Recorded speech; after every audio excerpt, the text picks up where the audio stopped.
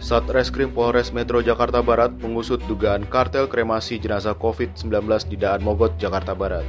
Kasus ini viral setelah salah satu anggota keluarga korban mengunggah foto kwitansi pembayaran jasa kremasi yang menelan biaya 80 juta rupiah.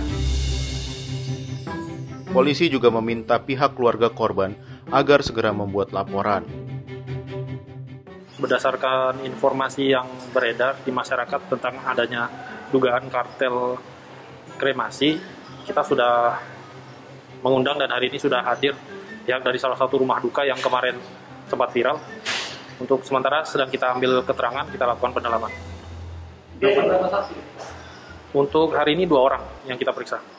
Korban sendiri sudah ada laporan gitu? Sampai sejauh ini belum ada korban yang membuat laporan.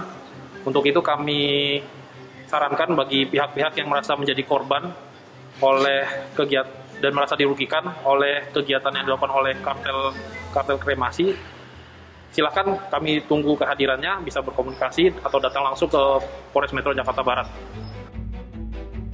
Angka kematian akibat COVID-19 di Indonesia yang tinggi membuat petugas pemulasaraan dan pemakaman pun kewalahan. Untuk itu, Yayasan Krematorium Dr. Agi Cece di Cilincing membuka layanan kremasi malam hari bagi jenazah COVID-19. Biaya jasa kremasi yang dibebankan maksimal 7 juta rupiah. Kita melihat saudara-saudara kita banyak yang diperas. Kita marah. Kita sedih. Indonesia sedang berduka. Tega-teganya mereka meras saudara-saudara kita.